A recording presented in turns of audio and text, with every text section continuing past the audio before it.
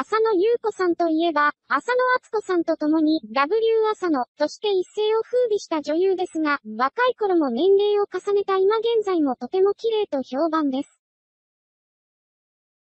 その浅野ゆう子さんの結婚相手、旦那、子供は？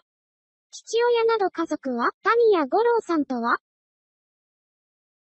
浅野ゆう子さんの年齢、身長、高校、経歴などウィキプロフィールと共に調べてみました。浅野ゆう子さんのプロフィール。名前、浅野ゆう子、浅野ゆう子。本名、赤沢ゆう子、赤沢ゆう子。出身地、兵庫県神戸市。生年月日、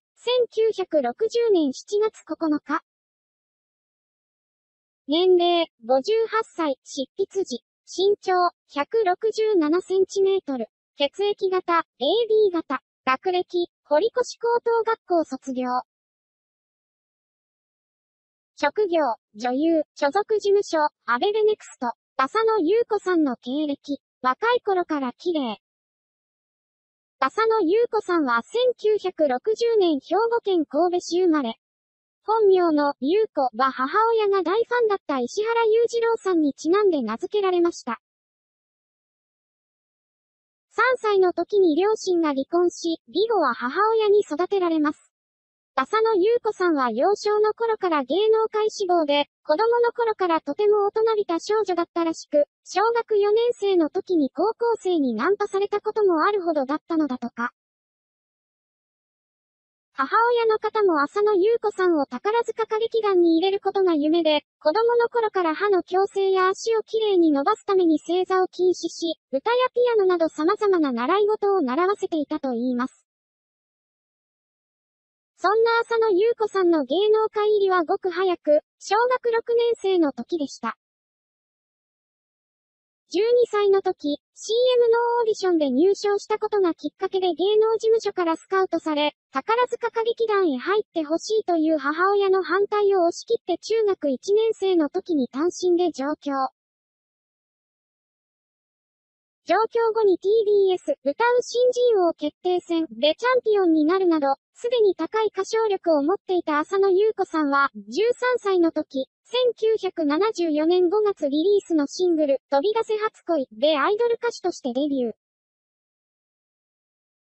当初はそのすらりと長い美脚から、ジャンプするかもしか、というキャッチフレーズで活動していました。ジャケットも美脚を強調していますね。続く2枚目のシングル、恋はガンガンで日本レコード大賞新人賞を受賞。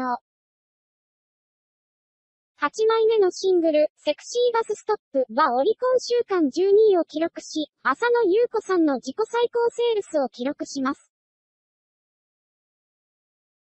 浅野ゆう子さんは中学生の時点ですでに非常に大人びており、また日本人離れした長身とプロポーション、ミニスカやホットパンツなどのスタイルは、当時のアイドルとしては非常に珍しいものでした。そのためアイドル歌手としては体制することは難しかったようで、80年代に入ると歌手活動は控えめになり、代わりにその抜群のプロポーションとルックスを活かしてモデルとして活躍するようになります。モデル活動以外では、主に2時間ドラマを中心に出演していましたが、女優としての仕事はそれほど多くはなかったようですね。浅野ゆう子さんのブレイク現在。そんな浅野ゆう子さんがブレイクしたきっかけは1988年のドラマ、君の瞳を逮捕するの主人公のシングルマザー役に抜擢されたことでした。陣内隆則さんについて、さらに同年のドラマ、抱きしめたい、で浅野敦子さんと W 主演。浅野敦子さんと共に W 浅野として女性を中心に絶大な人気を博すようになり、そのスタイルを意識したファッションが広く流行するなど、社会現象にもなりました。この作品で人気を決定づけた浅野ゆう子さんは、浅野敦子さんと並んで、トレンディドラマの女王、と称されるほどのブレイクを果たし、以後。ハートに火をつけて、89年、雨よりも優しく、89年。恋のパラダイス、90年、男について、90年、学校へ行こう、91年。親愛なる者へ、92年、都合のいい女、93年、長男の嫁、94年。ラブライ義務と演技、96年、金の卵、97年。ママチャリデカ、99年、など、数多くのトレンディドラマ、連続ドラマに主演するほか、2時間ドラマシリーズでも多くの主役を演じるようになります。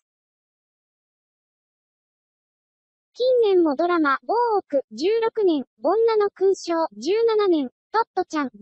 都市、や、舞台、ハムレット、17年、魔界転生、18年、ささめゆき、19年に出演するなど、女優として第一線で活躍を続けています。次ページ、浅野ゆう子さんの父親は大物政治家。結婚相手は長身イケメン、タミヤ五郎さんとは浅野ゆう子さんの父親はどんな人？浅野ゆう子さんの父親と母親は、浅野ゆう子さんが3歳の時に離婚しています。父親についてですが、国会議員の石井はじめさんだという噂があるようです。石井はじめさんは1934年生まれで、自治大臣や国家公安委員会委員長、民主党副代表など、政府、政党の要職を歴任した大物政治家です。その噂によると、母親は神戸の高級料亭の専属芸者で、元首相の竹下登さんのお気に入りだったのだそうです。そして、竹下登さんが、当時自分の側近を務めていた石井はじめさんに、浅野優子さんの母親を見受けさせたと言います。母親は当時の金額で1億円以上の資金を預かり、そのお金で神戸に自宅とスナックを開店。石井はじめさんの人脈もあり、連日大繁盛するようになったのだとか。そんな中で母親と石井はじめさんとの間に生まれたのが、浅野ゆう子さんだというのです。ネット上では以上のような都市伝説じみた噂がまことしやかに言われています。実際のところはどうなのか、そのソースをたどろうとしたのですが、はっきりしませんでした。少なくとも浅野ゆう子さんや母親の口から父親についての実際のところが公にされたというわけでもないようなので、この件に関しては、鵜呑みにせず、こういう噂がある程度に留めておきたいと思います。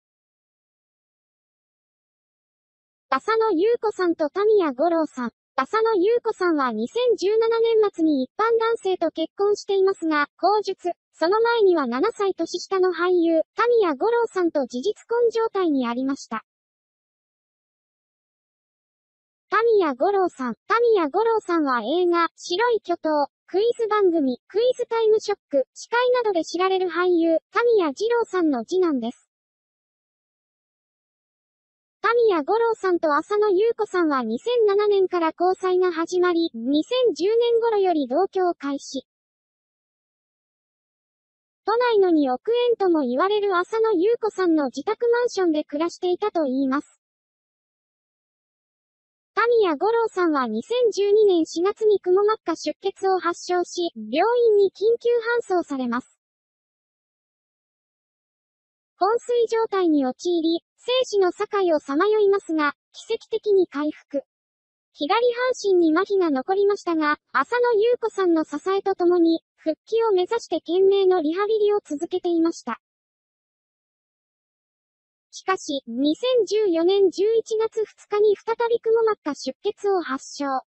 都内の病院に入院しましたが、回復することなく、浅野優子さんに見取られながら息を引き取りました。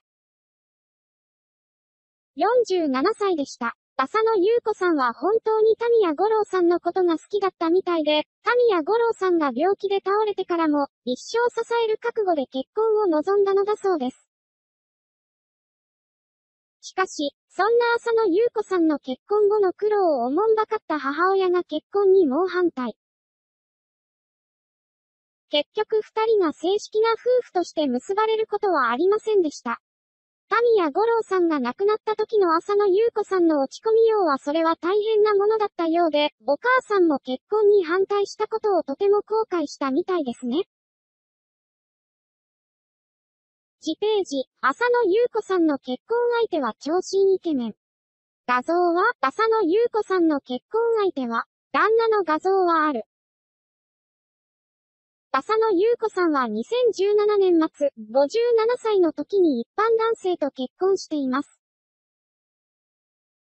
公式サイトを通じて、お互いこの年齢で、とも思いましたが、この年齢だからこそ、互いの健康に気遣いつつ、寄り添いながら穏やかに、これからの人生を歩んでいこうと決めました。と結婚を報告、お相手の男性については、同世代の一般男性、としていました。浅野優子さんの旦那さんは、数十人の従業員を抱える服飾関係の会社の経営者をなさっているみたいですね。身長が185センチメートルとも190センチメートルとも言われる長身で、俳優の田中健さんにのイケメンで、職業柄もあって抜群のファッションセンスをなさっているのだとか。田中健さん、旦那さんではありません。こちらに旦那さんの写真画像があります。残念ながら一般人ということもあり、顔出しはされていませんが、スタイル、ファッションセンスともに抜群であることは十分に伺えますよね。まさに浅野優子さんにぴったりのお相手のようです。ちなみに前の事実婚の相手であるタミヤ五郎さんも186